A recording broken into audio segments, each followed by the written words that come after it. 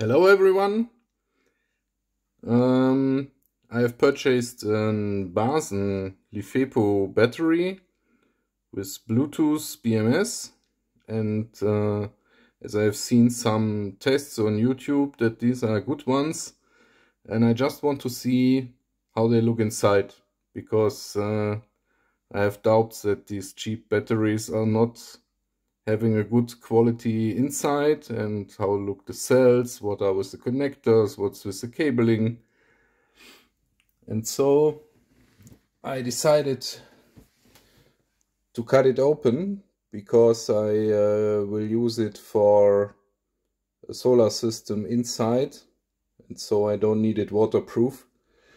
Um, yeah, and I think it could be also interesting for you to have a look inside.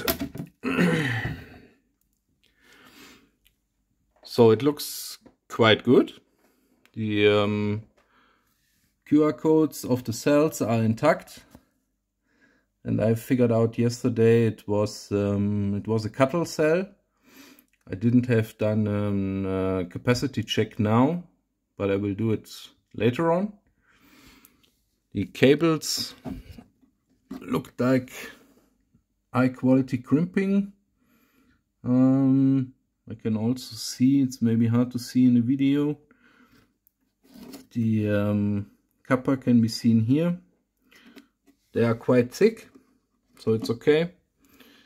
The connections between the cells are welded and the um, balancer cables are screwed what I'm not so there are also um, plates between the cells, these um, yeah slightly yellow, um, and also between the BMS and the cell.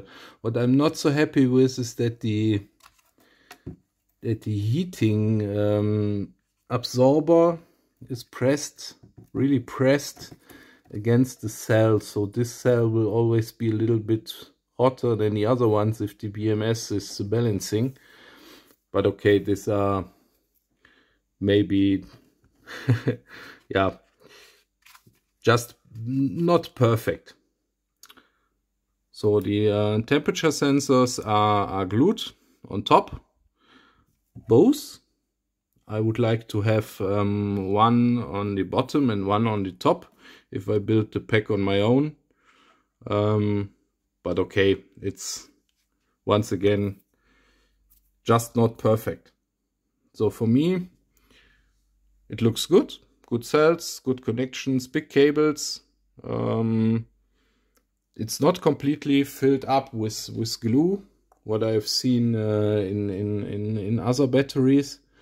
So it's just um, buffered with some foam and uh, yeah, with some hot glue but it's also coming loose even when I when I when I grinded it open.